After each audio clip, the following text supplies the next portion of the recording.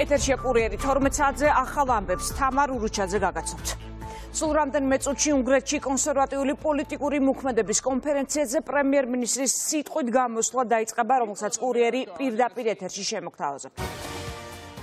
მანამდე ევროპარლამენტის რეზოლუციის ერთ-ერთ ვერსიაში, რომელიც ევროპის სახალხო პარტიის მიერ არის მომზადებული აფხაზეთის ცალკე სახელმწიფოდ არის მოხსენიებული. დოკუმენტში, რომლის ავტორებად რამდენიმე ევროპარლამენტარია მითითებული, მათ შორის მარიამ ლექსმანი, მაიკლ გელერი, დევიდ მაკალისტერი და ანდრიუს კუბილიუსი სამოტივაციო ნაწილში წერია.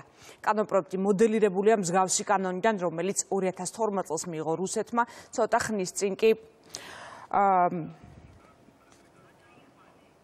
ყირგიზეთმა და აფხაზეთმა, ასევე რუსეთმა განცხადებები უკვე გაკეთდა თბილისში უმრავლესობა თulis რომ აფხაზეთის ცალკე მოხსენიება კიდევ ერთხელ უსვამს ხას ორმაგ სტანდარტს.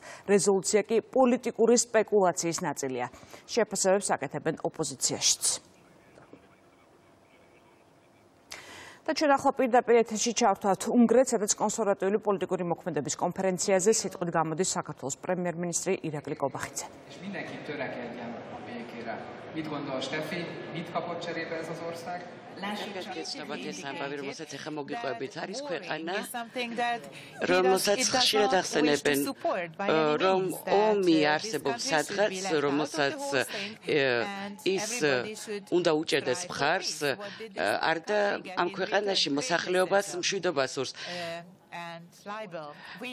ჩვენ ვიცით ვიზი აქვს საუბარი უნგრეთში, მაგრამ აქ ამ შემთხვევაში საქართველოსზე საუბრობთ და მის ახლად არჩეულ პრემიერ-მინისტრ სიტყვას გადავცემთ საქართველოს მთავრობის მეთაურს ბატონ ირაკლი კობახიძეს.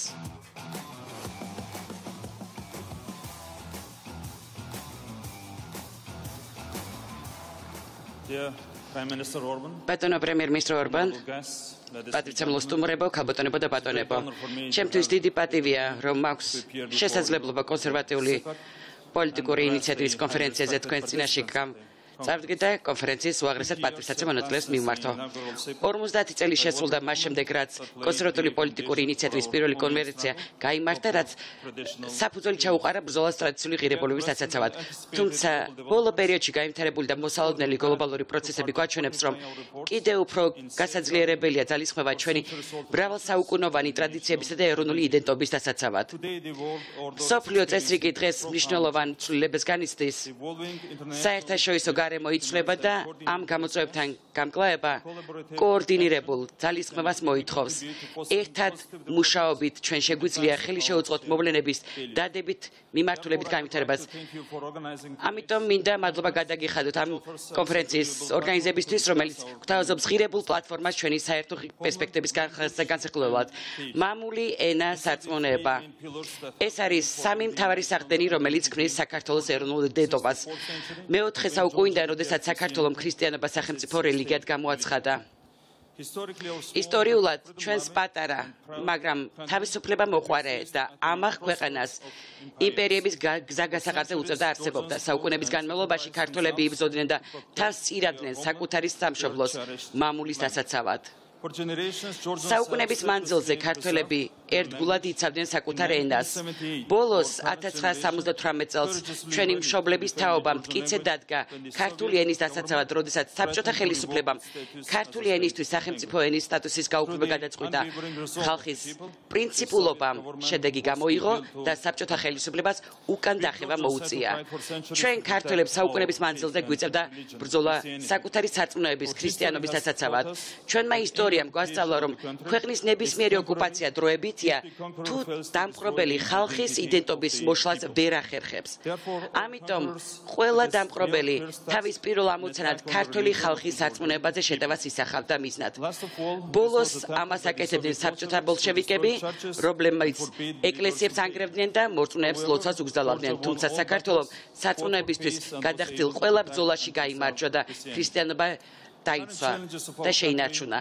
ჩვენი ქვეყნის დღევანდელი გამოწვევები მსგავსია იმისა, რომელთა წინაშე საქართველოს საუკუნეების მანძილზე იდგა. ყველაზე საინტერესო კი ისა, რომ ეს გამოწვევები დღეს მთელი მსოფლიოს გამოწვევად იქცა, რომლებიც რისკებს თანაბრად უქმნის როგორც პატარა, ისე ყველაზე დიდ ქვეყნებსა და ერებს. დღეს ეგრეთ წოდებული ლიბერალები აყენებენ რისკის ქვეშ ქვეყნებისა და ერების იდენტობას მთელი მსოფლიოს მასშტაბით. ამგვარი რისკების წინაშე ყველაზე მეტად ევროპა და შეერთებული შტატები დგანან, სადაც ეგრეთ წოდებული ლიბერალური იდეოლოგიას ყველაზე ფართოდ აქვს ფესები გათქმული.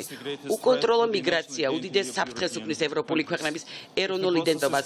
თუ პროცესები არსებული ტემპით გაგრძელდება, არ არაერთ ევროპულ ქვეყანაში ადგილობრივ მოსახლეობა ძალიან მალე უმცირესობით იქნება წარმოქმნილი. ეგრეთ წოდებული ლიბერალები განსაკუთრებული ენთუზიაზმით იბრძენ ქრისტიანობას წინააღმდეგ. ეგრეთ წოდებული ლიბერალებსა და ბოლშევიკებს შორის ერთადერთი განსხვავება ისაა, რომ ბოლშევიკები რელიგიის წინააღმდეგ ბრძოლის მთავარი იარაღად უროს იყენებდნენ, ეგრეთ წოდებული ლიბერალები კი ქრისტიანობას პროპაგანდით ებრძვიან, რომელსაც მედიის ტოტალური კონტროლის პირობებში უროზე ბევრად დიდი ძალა აქვს. დღეს საქართველოს მართლმადიდებელ ეკლესია მათი თავდასხმის განსაკუთრებული სამიზნეა. ორიოდე დღის წინ ქართულმა ეგრეთ წოდებულმა ლიბერალებმა საქართველოს ეროვნული იდენტობის კონფერენციის კონცეფციის შეცვლაც კი სცადეს და სიტყვები მამული ენა საწუნება სიტყვებით მამული ენა ერთობა შეცვალეს და მოიღეს რელიგია რწმენა ამ სამებიდან. ეგრეთ წოდებული ლიბერალების კონცეფციით არა მხოლოდ ქვეყანასა და ერთ ცალკეულ ადამიანსაც კი არ უნდა ჰქონდეს რაიმე მყარი იდენტობა, არ უნდა არსებობდეს რაიმე მორალური ზღვარი ადამიანის პირად ცხოვრებაში. ამ პროპაგანდას აქვს შემაშფოთებელი შედეგები როგორც ევროპაში, ისე შეერთებულ შტატებში, როგორც სოციოლოგიური კვლევები ადასტურებს შეერთებულ შტატებში და ევროპის ქვეყნების დიდ ნაწილში. 18-25 წლის მოსახლეობის დაახლოებით 20% საკუთარ თავს LGBT პირად აცხადებს. ეს მაჩვენებელი სამჯერ ნაკლებია 26-32 წლის ასაკის ახალგაზრდებში, რაც იმას ნიშნავს, რომ პროპაგანდამ LGBT პირების რაოდენობა სულ რაღაც 7 წელიწადში გაასამაგა. ეგრეთ წოდებული ლიბერალების პოზიციის მიხედვით ადამიანს არ უნდა ჰქონდეს მხარი გენდერული იდენტობა და ის ცხოვრების ნებისმიერ ეტაპზე თავად უნდა ირჩევდეს საკუთარ სქესს. ბავშვსაც კი უნდა ჰქონდეს სქესის არჩევის და შეცვლის უფლებაო. ეგრეთ წოდებული ლიბერალებისთვის მიუხედებელია გენდერულად განსაზღვრული ტერმინების გამოყენება, როგორც არის მაგალითად ქალი და კაცი, ან დედა ან მამა. რამდენიმე ათეული წლის წინ ვერავინ წარმოიდგენდა, რომ ცივილიზებულ სამყაროში ასეთ საკითხებზე მოგვიწევდა სერიოზული მსჯელობა. თუმცა თუმცა ფაქტია რომ ამ თემებზე დღეს არა მხოლოდ სერიოზული მსჯელობა წარიმართება არამედ ყველა ვინც საპირისპირო პოზიციას გამოხატა ზუსტად ისევე ხდება დევნის ობიექტი როგორც წარსულში ბოლშევიკები დევნიდნენ მოაზროვნე ადამიანებს და ეკლესიებს ახურებს საზოგადოებრივ ეგრეთ წოდებული ლიბერალები რომლებიც თავისუფლებას ხშირად შირმად იყენებენ ყველაზე შეუწყნარებლები არიან ადამიანის უფლებების განსაკუთრებით კი სიყვარულისა და გამოხატვის თავისუფლების მიმართ. ეგრეთ წოდებული ლიბერალებისთვის სინამდვილეში სრულიად უცხო ისეთი ღირებულებები როგორც არის თავისუფლება და შემწყნარებლობა ამ მიდგომის გაგრძელება ნარკოპოლიტიკის ლიბერალიზაციის კამპანია რომელიც ეგრეთ წოდებული ლიბერალები აქტიურად აწარმოებენ ნარკოტიკები ადამიანში მოაზროვნე ინდივიდს კლავენ და ღირებულებებისგან დაცულ სუბიექტად აქცევენ. ეგრეთ წოდებული ლიბერალები ასევე იბრძვიან ქვეყნის იდენტობის ისეთი უნიშნულოვანი საყდრს როგორც სახელმწიფო სუვერენიტეტია. თუ პროცესები იმ მიმართულებით წარიმართა რაც მიმართულებითაც დღემდე წარიმართა იმართება სახელმწიფო სუვერენიტეტს მალე უკვე ფორმალურადაც კი ზუსტად ისეთივე მიუღებელი ღირებულებად გამოაცხადებენ როგორადაც დღეს ქვეყნის ეროვნულ და რელიგიურ იდენტობას ვიცხადებენ. საქართველოს დღემდე არსებითად წარმატებად წარმატებით ახერხებს როგორც საკუთარი ეროვნული ისე რელიგიური იდენტობის ისე ტრადიციული ღირებულების დაცვას თუმცა ჩვენ წინსანშეს ურთულესი გამოწვევებით დგას ეგრეთ წოდებული ლიბერალები აქტიურად ცდილობენ ქართულ საზოგადოებაში საკუთარი იდეოლოგია გაავრცელონ და სახელმწიფოს და საზოგადოების საფუძვლების შეარყევას პარტიო. ამ გამოწვევებზე საპასუხოდ ჩვენ საქართველოს პარლამენტში დავაინიცირეთ საკონსტიტუციო ცვლილებების პროექტი, რომელიც ოჯახური ფასეულობების და არასრულწლოვანთა ინტერესების დაცვას ისახავს მისნად. კანონ პროექტი გწალას ერთსქესიანი სამოქალაქო პარტნიორობის დაკანონებას, ერთნაირსქესიანი ან პოლიგამიური წყვილის მიერ არასრულწლოვან შვილად აყვანას ადამიანის სქესის შეცვლას პირადობის დამადასტურებელ დოკუმენტში. გარდა ქალისა და მამაკაცისა სქესის შესახებ რაიმე სხვა ჩანაწერი შეტანას. ერთსქესიანი ოჯახური ან ინტიმური ურთიერთობის ინცესტის ერთსქესიანი წყვილის მიერ შვილის აყვანის და სქესის შეცვლის პოპულარიზაციას. გვაქვს დიდი იმედი, რომ აღნიშნული კანონპროექტის ცვლილებები ეგრეთ წოდებულ ლიბერალურ იდეოლოგიას წარმატებით დაუპირისპირდება და ოჯახური ფაცილობებსა და არსებულ ძალა დაცვის სქემაში მნიშვნელოვანი წვლილი შეიტანს. მადლობა. ყველასთვის მისაბაძია უნგრეთის პრინციპულობა. ქვეყნის და მისი მოსახლეობის ეროვნული ინტერესების დაცვის თვალსაზრისით. უნგრეთის ხელისუფლება პირადად პრემიერ-მინისტრი ვიქტორ ორბანი მტკიცედ დგანან უნგრეთის ეროვნული და რელიგიური იდენტობისა და ტრადიციული ღირებულების სადარაჯოზე. მიუხედავად ურთულესი გამოწვევებისა, თქვენ არ დაუშვით უნგრეთში მიგრანტების უკონტროლო შემოსვლა. რითაც ქვეყანას შეუნარჩუნეთ მყარი ეროვნული იდენტობა. თქვენ მტკიცედ გახართ უნგრეთში ქრისტიანობისა და ქრისტიანული ფასელობების სადარაჯოზე. თქვენ მტკიცედ უპირისპირდებით ეგრეთ წოდებული ლიბერალურ პროპაგანდას, რათა არ დაუშვათ ბავშვებზე და ახალგაზრდებზე მავნეზე მოქმედება და მათი მორალური ღირებულების შერყევა. თქვენ მყარად ითავს უნგრეთის სახელმწიფო სუვერენიტეტს, რაც ქვეყნის ეროვნული ინტერესების დაცვის და რეალიზების აუცილებელი პირობაა. უნგრეთი და მისი ხელისუფლება პირადად პრემიერ-მინისტრი ვიქტორ ორბანი არიან მისამაძი მაგალითები ყველასთვის, ვისთვისაც სიტყვა სამშობლოს და პატრიოტიზმის განსაკუთრებული ფასია. შესაბამისად, ჩემთვის განსაკუთრებული პატივია, რომ დღეს ვარ თქვენი სტუმარი და თქვენთან ერთად ჩვენ საერთო ღირებულებებზე მსჯელობის შესაძლებლობა მაქვს. ევროკავშირში გაწევრიანება საქართველოს და ქართული ხალხის თავის საგარეო პოლიტიკური პრიორიტეტია. დარწმუნებული ვარ, რომ ძალიან მალე საქართველოს გახდება ევროპული ოჯახის სრულფლებიანი წევრი და ჩვენ ერთად შევძლებთ მნიშვნელოვანი წვლილი შევიტანოთ ევროკავშირის გაძლიერებაში. მხარ ღირებულებებზე დაფუძნებული ევროპის მშენებლობაში. ღმერთმა მოგწეს ძალა და მოგმართოს მოგმართოს ხელი ამ შონს საქმეში. დიდი მადლობა. თქვენ პირდაპირ ეთერში უსმენთ საქართველოს პრემიერ-მინისტრი ირაკლი კობახიძე ბუდაპეშტში მიმდინარე კონფერენციაზე სიტყვით გამოვიდა ახლა კი ბრიფინგი იწყება გენერალურ პროკურატურაში რომელსაც პირდაპირ ეთერში სტრუქტურების თანამშრომლებს საფრანგეთის საელჩოს პოლიციის ატაშეს ევროჯასტის და ევროპოლის წარმომადგენლებს ევროჯასტის მხარდაჭერით შექმნილი საერთაშორისო საგამოძიებო ჯგუფის ფარგლებში საქართველოს პროკურატურის და სამი ქვეყნის კომპეტენტური უწყებების წარმომადგენლების ჩართულობით ევროკავშირის ქვეყნებში არსებული ბიბლიოთეკებიდან ზვირადღირებული წიგნების ქურდობის ფაქტებთან დაკავშირებით საქართველოს ტერიტორიაზე ფართო მასშტაბიანი ღონისძიება ჩატარდა. ერთობლივი ღონისძიების ფარგლებში შვეიცარიის, საფრანგეთის და ლიეტუვის რესპუბლიკის სამართალდამცავი ორგანოების, საქართველოს პროკურატურის და შინაგან საქმეთა სამინისტროს თანამშრომლებმა საქართველოს ტერიტორიაზე საგამოძიებო მოქმედებები ათეულობით ლოკაციაზე ჩაატარეს. ფართომასშტაბიან ღონისძიებაში, რომელიც საერთაშორისო პარტნიორებთან ერთად რამდენიმე თვის განმავლობაში მზადდებოდა, ევროკავშირის ქვეყნების და საქართველოს სამართალდამცავი ორგანოების 100-ზე მეტი თანამშრომელი მონაწილეობდა.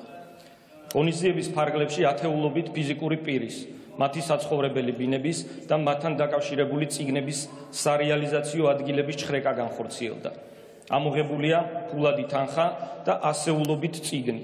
მათ შორის ერთ-ერთი დაკავებული პირის საცხოვრებელი სახლის ჩხრეკის შედეგად ამოღებულია სავარაუდოდ პარიზის ეროვნული ბიბლიოთეკიდან მოპარული მე-19 საუკუნეში გამოცემული ფრანგულ-ენოვანი ციგნი.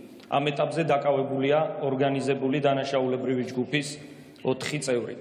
საქმეზე ჩატარებული გამოძიები დადგენილია, რომ 2022 წლის დასაწყისიდან საქართველოს მოქალაქეებმა შექმნეს ორგანიზებული დანაშაულებრივი ჯგუფი და განიზრახეს ევროპის მასშტაბით შემდგომი რეალიზაციის მიზნით ფარულად დაუფლებოდნენ მე-18-19 საუკუნის სხვადასხვა ავტორების ძვირად ღირებულ წიგნებს.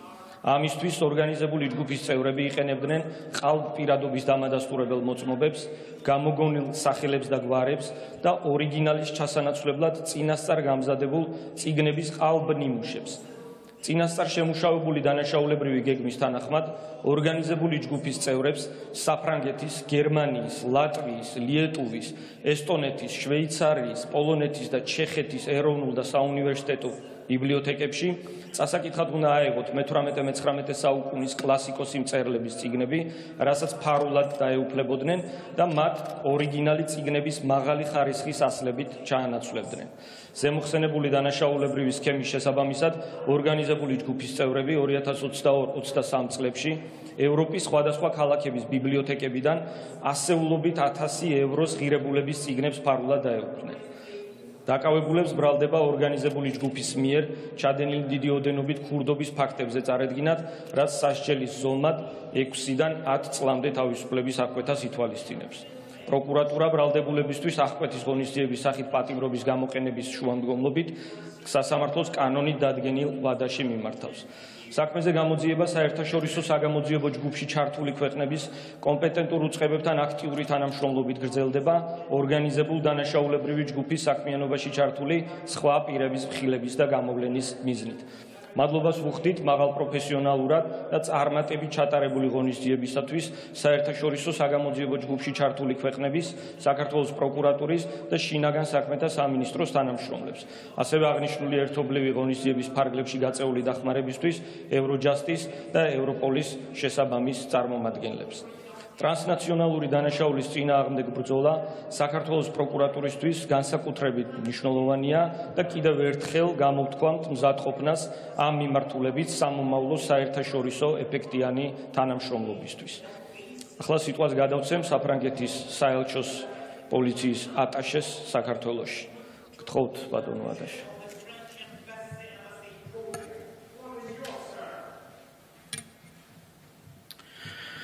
Euh, mesdames, mesdames, Messieurs, chers collègues, merci Monsieur le procureur général adjoint euh, pour ces, cette présentation des résultats et de la mobilisation sur cette euh, opération euh, que l'on peut qualifier de réussie, donc sous la forme d'une enquête européenne, équipe, équipe européenne d'enquête. C'est évidemment une, une satisfaction toute particulière pour les membres, euh, les États membres européens qui ont participé à cette euh, opération. Euh, derrière moi, mes collègues de Suisse, de Lituanie, et, de France et d'autres pays européens participé à cette équipe conjointe d'investigation qui n'était pas présente sur cette, cette opération ces, ces deux derniers jours. Je ne dirai rien de plus que ce qui a été dit par le bureau du procureur général sur le fond de l'affaire, hein, puisque une communication spécifique sera faite par Eurojust euh, et Europol, qui pilotaient conjointement cette opération en partenariat avec euh, le bureau du procureur général euh, de Georgie.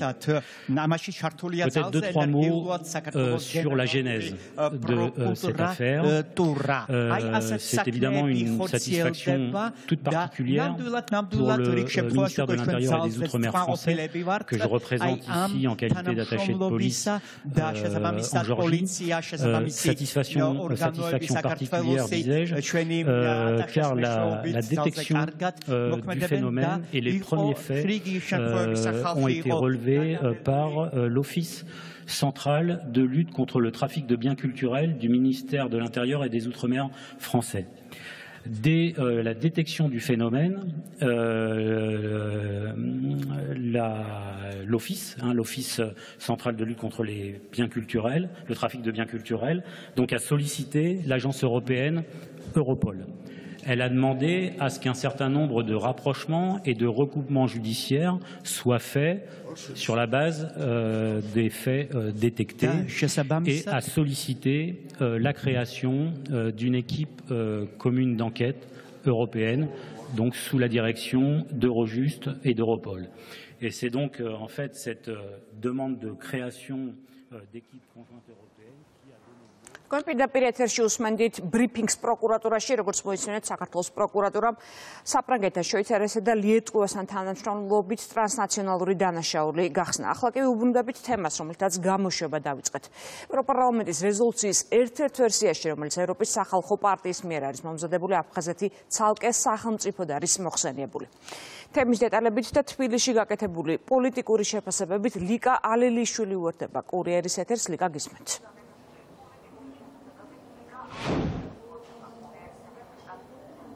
ევროპარლამენტართა ნაწილის მხრიდან ოკუპირებული აფხაზეთის ცალკე სახელმწიფოდ მოხსენიება მართველი გუნდისთვის არის მიუღებელი ქართულ ოცნებაში.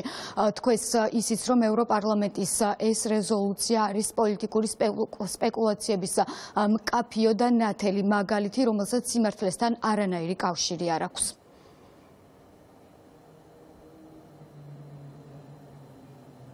ცალკე ცალკე მოხსენიება კიდევ ერთხელ ხას უსვამს ორმაგ სტანდარტს, რაც მათ შეიძლება აი ამ რეზოლუციის ავტორებს გააჩნდეთ საქართველოს ტერიტორიულ მთლიანობასთან დაკავშირებით. უსაზღრო სპეკულაციას აქვს აქ ადგილი. გამომდინარე აქედან ვიძახით, რომ ეს რეზოლუცია არის პოლიტიკური სპეკულაციის, ასე ვთქვათ, ნათელი მაგალითი, რომელსაც არანაირი კავშირი არ აქვს სიმართლესთან და რეალურ, ასე ვთქვათ, განმარტებასთან ის იმასთან დაკავშირებით, თუ რატო არის გამჭვირვალობა არასამთავრობო სექტორისა დამღუპელი. 83 button pushes is Ivanish institution beat up the people, betray the country. Thank you very much. We now move on to catch the eye. for sanctions against Georgia. მეგობრები იცავენ საქართველოს სუვერენიტეტს, ტერიტორიულ მთლიანობას, მათ შორის საერთაშორისო აღიარებულ საზღვრებში და ლაპარაკი იმაზე, რომ ცალკე ხომ არ არის გამოყოფილი მათი მხრიდან. აფხაზეთი ეს არის ფაქტობრივად იმ განაწესის, იმ დღის წესრიგის გაგრძელება, რომელსაც ქმნის კრემლი.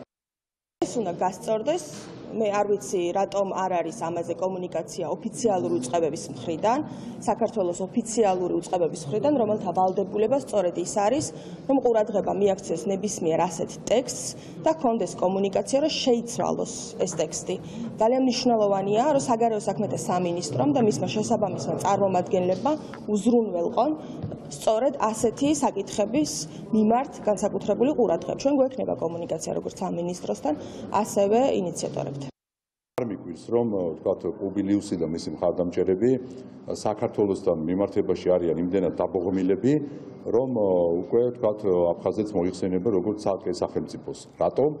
იმიტომ რომ ჩვენ არ მივეცით მათ და მის პატრონებს საქართველოსში მეორე ფრონტის გახსნის საშუალება.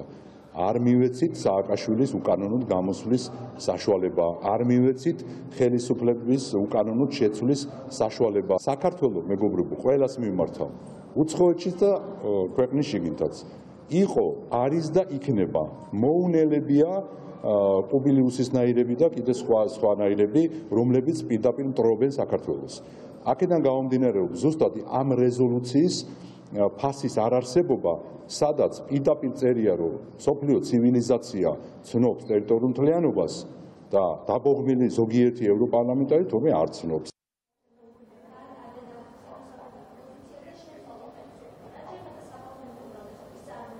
რეზოლუციის ერთ-ერთი ვერსია, რომელშიც ევროპარლამენტართა ნაწილი ოკუპირებულ აფხაზეთს ცალკე სახელმწიფოდ მოიხსენიებს ევროპარლამენტის ვებგვერდზეა განთავსებული. მადლობა ლიკა ალელიშვილი იყო კურიერის პირდაპირ ეთერში. ევროპარლამენტის საქართველოს შესახებ მომზადებულ რეზოლუციას კენჭს დღეს უყრის უცხოური აგენტების შესახებ კანონის ხელახლა წარდგენისა და სამოქალაქო საზოგადოების შეზღუდვის მცდელობა. ასე ქვია დოკუმენტს, რომელშიც წერია, რომ ევროპარლამენტი კატეგორიულად გმობს სადაო კანონპროექტს, რადგან ის აწესებს შეზღუდვებს სამოქალაქო საზოგადოებასა და მედიაზე. რეზოლუციაში ნათქვამია, რომ კანონი შეუთავსებელია ევროკავშირის ღირებულებებთან და ეწინააღმდეგება ქვეყნის ევროპულ ამბიციებს. ჩანაწერის მიხედვით ევროკავშირში გაწევრიანების მოლაპარაკებები ვერ დაიწყება, სანამ ეს კანონი საქართველოს სამართლებრივი წესრიგის ნაწილი იქნება. შევა თუ არა დოკუმენტში შესწორებები ეს მოგვიანებით გახდება ცნობილი. შესწორებებში კი რომელიც შესაძლოა რეზოლუციის ტექსტში აისახოს საუბარია ბიძინა ივანიშვილის დასანქცირებაზე, სააკაშვილის გათავისუფლებაზე, ინიცირებული კანონის გავლენაზე, ვიზა ლიბერალიზაციის კრიტერიუმების შესრულების ნაწილში და მოწოდებაზე უმრავლესობამ გააუქმოს საკონსტიტუციო ცვლილება, რომელიც როგორც შესწორებებშია ნათქვამი ლგბტ-Q უფლებებს ზღუდავს. თემაზე თბილისში დილიდან კეთება პოლიტიკური შეფასებები მართული გუნდი ისევ ორმაგ სტანდარტზე და ქვეყნის შიდა საქმეებში ჩარევაზე საუბრობს. განსხვავებულია შეფასებები ოპოზიციაში. განცხადებებს ლევა ჯავახიშვილი გავგაცნობს ის კურიერს უერთდება ლევა გისმენთ.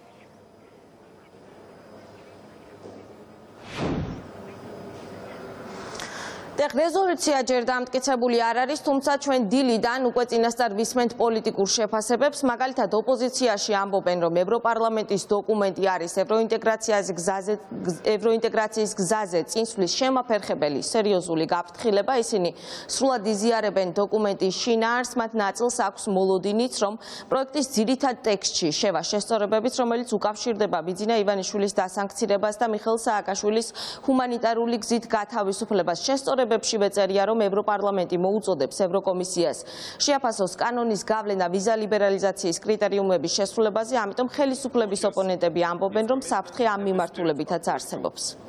თუ ეს კანონი იქნება მიღებული საქართველოს ევროკავშირში ვერ გაწევრიანდება. დიდი შანსია საქართველოს მოქალაქეებს თავისუფალი ვიზით სარგებლობის უფლება აღარ მიეცეთ ევროპაში. მე ვფიქრობ რომ თავარი არის ერთი რამ. საქართველოსში ქართული ოცნება საბოლოოდ გადაიქცეს რუსული გავლენის აგენტად და ასევე საქართველოს შეუზღუდონ ევროინტეგრაციაში სტრაფა ინტეგრაციისკენ სტრაფა რაც არის ყველაზე უფრო სავალალო სწორედ აი ამ მიმართულებით სამწუხარო დადასტურდა რასაც ვაფრთხილებდით საქართველოს მოქალაქეებს ეს რუსული კანონი ქართულ მოძნებამ შემოიტანა, რომ დაიბლოკოს ჩვენი დაჩქარებული წესით ევროპაში გაწევრიანება. მიხეილ სააკაშვილთან დაკავშირებით არსებობს სერიოზული კითხვები, რომ გამოძიებას აქვს პოლიტიკური ანგარიშორების ინტერესი. დიაგნოზები, რომელიც არის დასმული, არ არის აღმოფრილი და მისი მდგომარეობა მიუხედავად იმისა, შეიძლება ვიზუალურად ვიღაცას მოეჩვენოს, რომ ისე ცუდად არ არის, როგორც ექიმები ამბობენ, კვლავ ძიმია მდგომარეობა.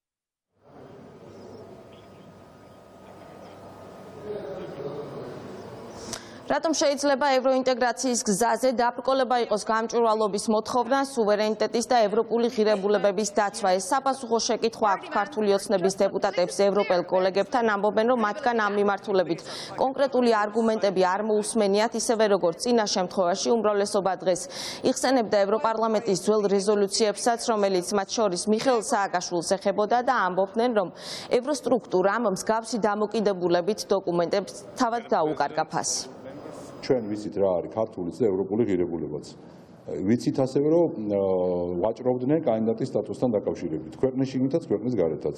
მაგრამ ყველა დაინახა რომ ჩვენ ღირსებით მივიღეთ კანდიდატის სტატუსი. ასე იქნება 2030-ით, სადაც შენ სუვერენიტეტს დაიცავ და შენ თავმოყარეობას დაიცავ, ყველა დაგაფასებს. თქვენ მე მგონი კარგად გახსოვთ რეზოლუცია ევროპარლამენტის რომელმაც თქვა რომ საქართველოსი აწამებენ სააკაშვილს და ეს უნდა გათავისუფლდეს.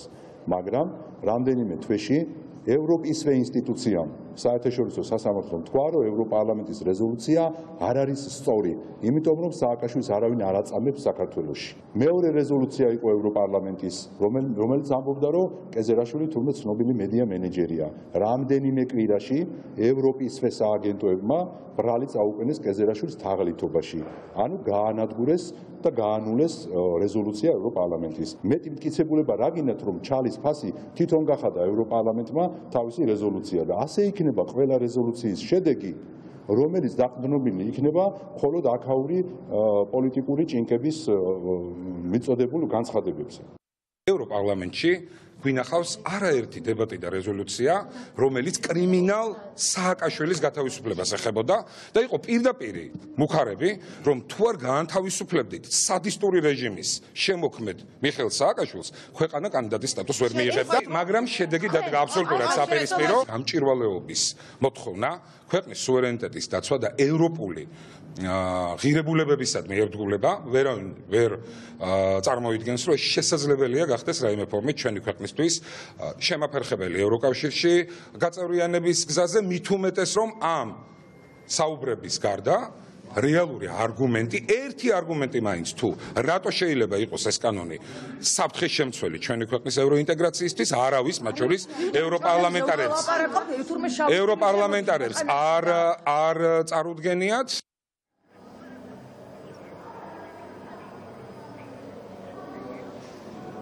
საბოლოოდ რა სახით მიიღებს ევროპარლამენტი რეზოლუციას ეს დღის მეორე ნახევარში დაზუსტდება, როდესაც საკითხზე კენჭისყრა გამართება. მადლობა ეს იყო ლელა ჯავახიშვილის კურიერის პირდაპირ ეთერში საუბრობდა. განცხადებას აღწევს ხალხის ძალა. ჩვენ არ გვინდა ევროპა ქრისტიანობის გარეშე, გვინდა ევროპა, რომელმაც იცის სუვერენიტეტის, იდენტობის, დემოკრატიის, ღირსების და ქრისტიანული მორალის ფასი. წერს პოლიტიკური მოძრაობა ვცელ წერილში, სადაც ნათქვამია, რომ დღეს ევროპას არანაკლებ სჭირდება საქართველოს ვიდრე საქართველოს ევროპა. ხალხის ძალის შეფასებით ევროპის კრიზისი საქართველოს მიმართ უკიდურესად არაევროპულ დამოკიდებულებაზეც აისახება. გამოვთქვით ჩვენი პროგნოზი, რომ არჩევნებამდე ორიოდე დღით ადრე ან არჩევნებიდან ორიოდ დღეში ევროკავშირთან მოლაპარაკებების გახსნაზე გვეტყვიან უარს. რომ ანარჩენების შედეგებზე მოახდინონ კოლექტიური ნაცმოძრაობის სასარგებლო გავლენა ანარჩენების შემდეგ რევოლუციის მოწყობას სადოთ. როგორც 2022 წელს დავპირდით საზოგადოებას, რომ საქართველოს აუცილებლად მიიღებდა კანდიდატის სტატუსს, უბრალოდ იგივე პირობა შეგვიძლია მივცეთ ხალხს მოლაპარაკებების გახსნასთან დაკავშირებითაც. ნათქვამია განცხადებაში. სამართლებრივი სახელმწიფოსა და ადამიანის უფლებების იდეა ევროპაში მე-18 საუკუნის ბოლოს ჩაისახა, მაგრამ მე-20 საუკუნის მეორე ნახევრამდე ევროპაში ფეხის მოკიდება მას ძალზედ უჭირდა. ევროპას უკავშირდება უახლესი მსოფლიო ისტორიის ყველაზე სისხლიანი მოვლენები, პირველი და მეორე მსოფლიო ომები, ფაშიზმი, ნაციზმი, ჰოლოკოსტი და საკონცენტრაციო ბანაკები. კონტინენტის პოლიტიკური ისტორია ძალიან მოკლედ რომ შევაჯამოთ რომის იმპერიის ეპოქიდან 1945 წლამდე. ევროპა დემოკრატიის, სამართლებრივი სახელმწიფოსა და ადამიანის უფლებების ნიმუშის როლს არასოდეს ასრულებდა. ამ ყველაფრით იმის თქმა გვინდა, რომ ევროპას როგორც სარიელ გეოგრაფიულ სივრცეს არავითარი ფასი აქვს. ევროპა როგორც პოლიტიკური სივრცე ჩვენთვის ძვირფასი და სანიმუშო მხოლოდ იმ სახით შეიძლება იყოს, როგორადაც ის რამდენიმე ათეული წლის წინ ჩამოყალიბდა. ისტორიულადაც მთავარი მიზეზი, რატომაც ჩვენი წინაპრები ევროპისკენ იყურებოდნენ ქრისტიანობა იყო. ქართველებისთვის ევროპა იყო ძვირფასი როგორც ერთმორწმუნე ქრისტიანული სივრცე, რომელთანაც საქართველოს საერთო რელიგია და ქრისტიანული კულტურა აკავშირებდა. ევროპის როგორც ცივილიზებული პოლიტიკური სივრცის ოქროს ხანა 1959-2008 წლები იყო. 60 წლის განმავლობაში ევროპა ინარჩუნებდა სუვერენიტეტს და ევროპელების შესაბამისად ყარად ინარჩუნებდნენ პოლიტიკურ, კულტურულ, ეთნიკურ, რელიგიურ და სექსუალურ იდენტობას. სწორედ ამ პერიოდში იქცა დემოკრატია, სამართლის უზენაესობა, ადამიანის უფლებები, ანგარიშვალდებულება და გამჭვირვალობა ევროპული მართლობის მთავარ პრინციპებად. ამავე პერიოდში 60 წლიანი უწყვეტი მშვიდობის წყალობით თანმიმდევრულად იზრდებოდა ევროპის ეკონომიკაც. ხოლო 2002-2008 წლებში ევროკავშირის ეკონომიკა 7.4 ტრილიონი დოლარიდან 16.3 ტრილიონ დოლარამდე გაიზარდა. თუმცა 2008 წელს ევროკავშირის სერიოზული გამოწვევების წინაშე დადგა. ბოლო 16 წელია ევროკავშირის ეკონომიკა სრული სტაგნაცია განიცადა და 16.3 ტრილიონიდან მხოლოდ 17.3 ტრილიონს მიაღწია. შედარებისთვის, იმავე პერიოდში ამერიკის ეკონომიკა, რომელიც 2008 წელს ევროკავშირისას ჩამორჩებოდა და მხოლოდ 14.8 ტრილიონ დოლარს შეადგენდა 28 ტრილიონამდე გაიზარდა. ეს იმას ნიშნავს, რომ ბოლო 16 წელიწადში ევროკავშირი ამერიკას 12 ტრილიონი დოლარი ჩამორჩა. იგივე ეხება ცალკეული ევროპული ქვეყნების ჩამორჩენასაც, რომლებიც ტრადიციულ ინდუსტრიებს სწრაფი ტემპით კარგავენ. ამისთვის გლობალურ ომის პარტია სულ რაღაც სამი ევროპული ომი და ევროკავშირში ტოტალური აგენტოკრატიის ჩამოყალიბება დაჭირდა. დღეს ევროპაში ერთი ხელით იმართება ბიუროკრატიისა და მედიის უდიდესი ნაწილი, რაც ევროკავშირს ომებზე ადეკვატური საკუთარი ინტერესების შესაბამისი რეაგირების არავითარ შესაძლებლობას არ უტოვებს. აგენტოკრატიისა და მედიის ტოტალური კონტროლის პირობებში გლობალური ომის პარტია ევროპელებს კულტურულ, ეთნიკურ, რელიგიურ და სექსუალურ იდენტობასაც ძიოლად აკარგვინებს. ევროპის ქვეყნებში უმრავლესობა 18-25 წლის ახალგაზრდებში ლგბტ პირების რაოდენობა უკვე 20%-ს შეადგენს, საიდანაც ნახევარზე მეტი თავს ბისექსუალად აცხადებს. ეს იმის უტყუარი დასტურია, რომ მათი LGBT-ობის მთავარი მიზეზი არა შესაბამისი ფიზიოლოგიური მოთხოვნილება, არამედ მორალისგან და რელიგიური დოგმებისგან მათი სრული სტერილიზაციაა. ჩვენი და ქართველი ხალხის სურვილია გავხდეთ ისეთი ევროპული ოჯახის წევრი, როგორიც ის 1959-2008 წლებში იყო. ჩვენ გვინდა არა მიშელის, მაკრონისა და შოლცის, არამედ რობერტ შუმანის, კონრად ადენაუერის, შარლ დეგოლის, ფრანსუა მიტერანის და ჰელმუტ კოლის ევროპა. ჩვენ გვინდა ევროპა, რომელსაც მართავდნენ ნამდვილი პოლიტიკური ლიდერები. ჩვენ არ გვინდა ევროპა ევროპელების გარეშე. ჩვენ არ გვინდა ევროპა ქრისტიანობისა და ქრისტიანების გარეშე. ჩვენ არ გვინდა ევროპა, სადაც სქესი არჩევითია, ხოლო სქესობრივ ცხოვრებას არავითარი მორალური ზღვარი არ აქვს. ჩვენ გვინდა ევროპა, რომელმაც იცის საკუთარი სუვერენიტეტისა და იდენტობის, დემოკრატიისა და სამართლებრივი სახელმწიფოს, ღირსებისა და ქრისტიანული მორალის ფასი. ჩვენ გვინდა ევროპა იმ ფასეულობებით, რომელსაც ილია და ვაჟა ევროპულ ცივილიზაციაში გამოარჩევდნენ და შენატროდნენ.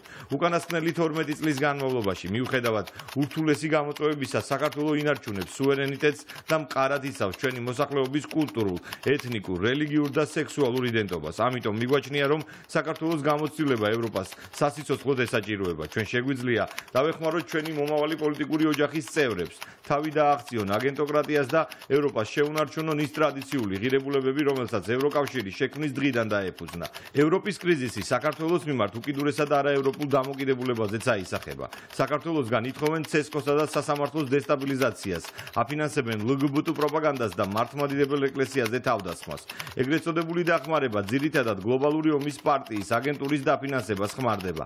ღია მხარდაჭერას უცხადებენ ადამიანებს, რომლებმაც 2004-12 წლებში დემოკრატია და ადამიანის უფლებები ფეხქვეშ გათელეს, ციხეები გადაავსეს, პატიმრები აწამეს, ასეულობით ადამიანის სიცოცხლე შეიწირეს, არჩევნები აყალბეს, ბიზნესი აყაჩაღეს და ტელევიზიები მიიტაცეს. დღეს კეზერაშვილი ევროკავშირში თავისუფლად გადაადგილდება და ერთი ხელით ევროპელ ევროპელ პენსიონერებს ძარცვავს, ხოლო მეორე ხელით NGO-ების გამჭვირვალობის საწინააღმდეგო აქციებს აფინანსებს. ყველას გახსოვთ, როგორ გაგვიყალბეს 2020 წელს ეგრეთ წოდებული პივიტი და როგორ ცდილობდნენ 19 აპრილის ანტიკონსტიტუციური შეთანხმებით ხელის გადაგრეხვას, რომ რიგგარეში არჩევნების ჩატარება ეიძულებინათ. ყველას გახსოვთ, როგორ გვეუბნებოდნენ 2021 წლის არჩევნებამდე ორიოდ დღით ადრე უარს 75 მილიონი ევროს ცესხის გაცემაზე იმის გამო, რომ სასამართლოს დესტაბილიზაციაზე ვთქვით უარი. ამის ერთადერთი მიზანიც ქართული ოცნების საარჩევნო შედეგზე ზემოქმედება და რიგგარეში არჩევნების მიღწევა იყო. ისიც ყველას გახსოვთ, როგორ გვითხრეს 2022 წელს სრულიად უმიზეზოდ უარი კანდიდატის სტატუსზე, რის საფუძველზეც რევოლუციის მოწყობა სადეს. ყველას გახსოვთ, როგორ ითხოვდნენ სააკაშვილის გათავისუფლებას, რადგან რევოლუციური მუხტი ყველაზე მეტად მის პერსონაჟში ეგულებოდა. თუმცა სააკაშვილის გათავისუფლების მოთხოვნაც არაფერია იმასთან შედარებით, როგორ უტიფრადაც დღეს გამჭვირვალობის შესახებ კანონზე საუბრობენ. უკიდურესად არაევროპულია, როდესაც კანონის არ მიღებას ითხოვდა, იმითაც კი არ იწუხებ თავს, რომ ამ კანონის სიცუდის შესახებ თუნდაც ერთი არგუმენტი მოიტანო. ჩვენ პირველად ჯერ კიდევ რამდენიმე თვის წინ გამოვთქვით ჩვენი პროგნოზი იმასთან დაკავშირებით, რომ არჩევნებამდე 2-ოდე დღით ადრე, ან არჩევნებიდან 2-ოდე დღეში ევროკავშირთან მოლაპარაკებების გახსნაზე გვეტყოდნენ უარს, რომ ან არჩევნების შედეგებზე მოახდინონ კოლექტიური ნაცმოძრაობის სასარგებლო გავლენა, ან არჩევნების შემდეგ რევოლუციის მოწყობა სადონ. თუმცა, როგორც 2022 წელს დავპირდით ქართულ საზოგადოებას, რომ საქართველოს აუცილებლად მიიღებდა კანდიდატის სტატუსს, ზუსტად იგივე პირობა შეგვიძლია მივცეთ ხალხს მოლაპარაკებების გახსნასთან დაკავშირებითაც. როგორც შარშან გავხადეთ, ისინი იძულებული მოეცათ კანდიდატის სტატუსი, წელს თუ არა გაისად, ზუსტად ასევე მოუწევთ გაგვიხსნან მოლაპარაკებებიც, რასაც დიდი ფასი ისედაც არ აქვს. არავითარი მნიშვნელობა არ აქვს 2024 წელს გაგიხსნიან მოლაპარაკებებს და 2030 წელს გახდები ევროკავშირის წევრი თუ 2025 წელს გაგიხსნიან და წევრი ისევ 2030 წელს გახდები. საქართველოს ჭირდება ევროპა, რომელიც ჩვენთვის მრავალი თვალსაზრისით მისაბაძი მაგალითია. მიგვაჩნია, რომ დღეს ევროპას არანაკლებ ჭირდება საქართველოს, ვიდრე საქართველოს ევროპა. ჩვენი გამოცდილებით ჩვენ შეგვიძლია ევროპას აგენტოკრატიისგან თავის დაღწევაში დავეხმაროთ. რაც ძველი ტრადიციული დემოკრატიასა და სამართლიანობაზე დაფუძნებული მყარი იდენტობის მქონე ევროპის დაბრუნების აუცილებელი პირობაა. დარწმუნებული ვარ, სულ რაღაც რამდენიმე წელიწადში საქართველოს გახდება პოლიტიკური, ეკონომიკური და კულტურული აღმასვლის გზაზე, ხელახლა შემდგარი ევროკავშირის წევრი, რაც თითოეული ჩვენგანის უდიდესი ოცნებაა. იმერეთი რაჭაგურია და ახლა უკვე აჭარა ოჯახურ ღირებულებათა და არასრულწლოვანთა დაცვის შესახებ საკონსტიტუციო ცვლილებების საყოველთაო სახალხო განხილვა ბათუმში გრძელდება. თითქმის 1 საათია პარლამენტის ამჯდომარე უმრავლესობის ლიდერი და დეპუტატები მოსახლეობას ცვლილებების შინაარს და მიზნებს აცნობენ. კონსტიტუციის 30-ე მუხტის მესამე პუნქტი ემატება, რომელშიც წერია, რომ ოჯახურ ღირებულებათა და არასრულწლოვანთა დაცვა უზრუნველყოფილია საქართველოს კონსტიტუციური კანონით. რაც შეეხება ოჯახურ ღირებულებათა და არასრულწლოვანთა დაცვის შესახებ კონსტიტუციური კანონის პროექტს ის 8 პუნქტისგან შედგება და ოჯახურ ღირებულებებს უკავშირდება. სახალხო განხილვები გეგმება ზუგდიდსა და მესტიაშიც. ევანდელობის ძალიან მნიშვნელოვანი გამოწვევა გახლავთ სწორედ ფსევდოლიბერალური ღირებულებებისგან ჩვენი საზოგადოების ამ ღირებულების პროპაგანდისგან ჩვენი საზოგადოების და არასრულწლოვანების დაცვა, რომელიც საკონსტიტუციო დონეზე უნდა გამყარდეს, რამე თუ შემდგომ ამ ძალიან მნიშვნელოვან რეგულაციას და საკანონმდებლო სივრცეზე არ მოხდეს რაიმე სახის манипуლირება. ჩვენ საზოგადოებას ვესაუბრებით იმ ძირითად პუნქტებზე, რომელიც იქნება კონსტიტუციაში, ასახული და კონსტიტუციურ კანონში. პირველი სამი შეხვედრაზე იყო? აბსოლუტური მხარდაჭერა გამოხატული ხალხის მიერ, ყველა კარგად ხვდება, ყველა კარგად გრძნობს, რომ ეს არის აუცილებელი ცვლილებები, იმისთვის რომ დავიცვათ ის ტრადიციული ღირებულებები, რომლებიც ჩვენი რელიგიიდან, ჩვენი სარწმუნოებიდან, ჩვენი წინაპრებიდან მოგდებს და ამას აქვს აბსოლუტური მხარდაჭერა სახელმწიფო უსაფრთხოების სამსახურის თანამშრომლებმა ჯგუფურად კომერციული მოსყიდვის ფაქტზე ერთი პირი დააკავეს, ერთი ამხილეს. გამოძიების ინფორმაციით, კერძო სამკურნალო დაწესებულება შიპლს რუსთავის ნომერ პირველი პოლიკლინიკის დირექტორმა და ექიმმა. ეგვიპტის არაბთა რესპუბლიკის მოქალაქეს 2000 დოლარი სანაცვლოდ ყალბი ფორმაასი დაუმზადეს. ჯანმრთელობის მდგომარეობის შესახებ ყალბ დოკუმენტში ჩაწერეს სხვადასხვა არარსებული დაავადება. დანაშაული 4-დან 6 წლამდე პატიმრობას ითვალისწინებს. ესპანეთის პრემიერი შესაძლოა გადადგეს. ის მოვალეობას აღარ ასრულებს. განცხადება პედრო სანჩესმა. მას შემდეგ გავრცელა რაც მისი მეუღლე კორუფციულ სკანდალში გაეხვა. მეორე ბადით არჩეულმა პრემიერმა განაცხადა რომ მზადა ითანამშრომლოს გამოძიებასთან შესჭირდება დრო გადაწყვიტოს აქვს თუ არა უფლება ესპანეთის მთავრობას უხელმძღვანელოს პრემიერისა და მისი მეუღლის კორუფციული საქმიანობით პროკურატურა მას შემდეგ დაინტერესდა რაც ერთ-ერთმა არასამთავრობო ორგანიზაციამ საკუთარ გამოძიებაში თანამდებობრივი მდგომარეობის ბოროტად გამოყენების და გავლენით ვაჭრობის სავარაუდო ფაქტები Olga Sacerova.